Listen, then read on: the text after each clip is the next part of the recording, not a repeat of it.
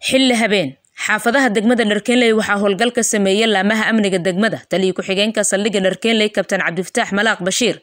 شنطة تلي واحد الدقمدة. Iyo taliyo xigeenka qaybta galbeed ee booliiska gobolka banaadir.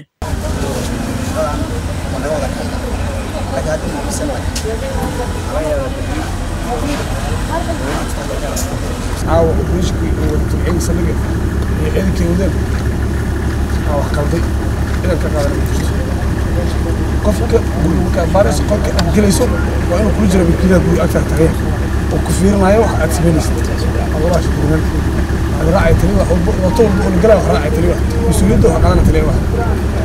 waxaana uu ahaa howlgalkan mid looga hortegayay falalka lidiga ku ah ammaanka ee mararka qaar ka dhaca degmada dharkeenley islamarkaana lagu xaqiijinaya ammaanka guud ee degmada.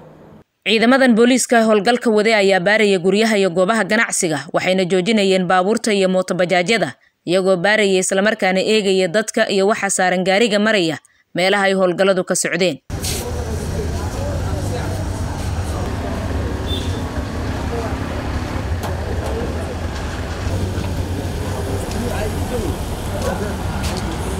taliyo xigeenka saldhigana waxa uu sheegay inay sii adkeyn doonaan hawsha adag ay qaranka u hayaan taasoo aan ku badbaadinayna buu yidhi dadka iyo dalka. Inta lagu guda jiray howlgalka tiradada ayaa gacanta lagu dhigay waxaana la helay waxyaabo laga shakiyo ay ku jiraan. Hubaan sharciyeysnayn iyo gaari taarga la'aan ah sida booliiska howlgalka isku dabaridaya ay sheegeen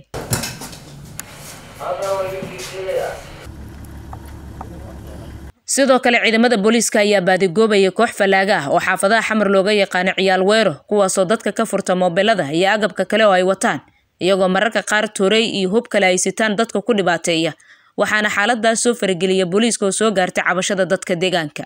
Markii howlgalka soo dhammaaday waxaa warbaahinta ugu horeyn la hadlay gudoomiye ku-xigeenka amniga iyo siyaasadda degmada dharkeenley cabdulaahi shaarkey. Waa howlgal soconaya waqtiyada soo socda haddii rabbi idmo si isku duubni ah oo wada shaqayn ah annaga iyo laamaheennuba waa ku faraxsannahay waxayna noqon doontaa in waqtiyada soo socdaan sidaan si la mid aan u wada shaqayno haddii rabbi aad aad u mahadsantahay bashiir durqan waa taliyo xigeenka qaybta galbeed ee booliiska gobolka banaadir. Waxa uu sheegay inay wadayaan howlgalkan maadaama lagu guda jiro xilli doorasho marxaladda siyaasadeed ee dalkana tahay mid kacsan.